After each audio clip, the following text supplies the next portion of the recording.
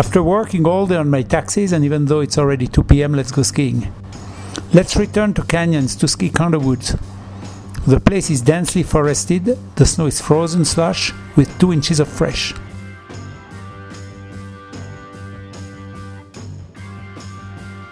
It's quite tricky, be careful, pay attention, I'll follow you.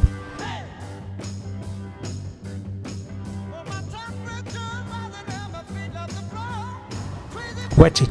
Oh no! Bam! Are you okay? Let's say that again. Ouch! Do it again. Take another entrance this time, that one's a bit more open.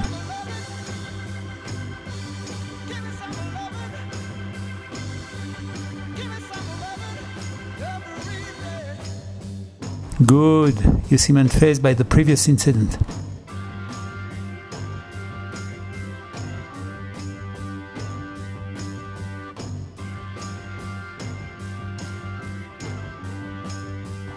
Get into a rhythm. Don't be so tense. Enjoy the open space, relax a bit more, use your speed.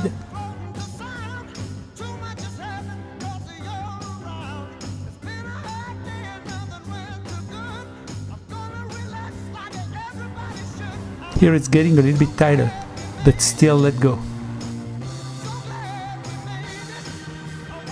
Don't hesitate. Look for the opening, the snow, not the tree. You don't want to take another fall.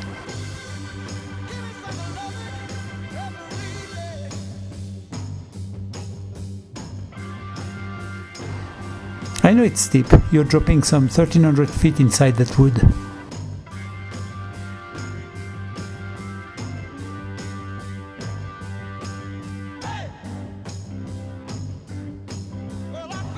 Watch for stumps and branches on the ground. Adjust Antonio skis.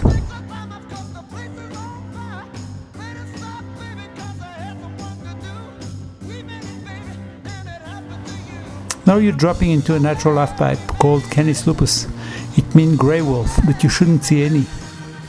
Perhaps a bunch of snowboarders. The halfpipe is tight and offers no escape. Good rhythm.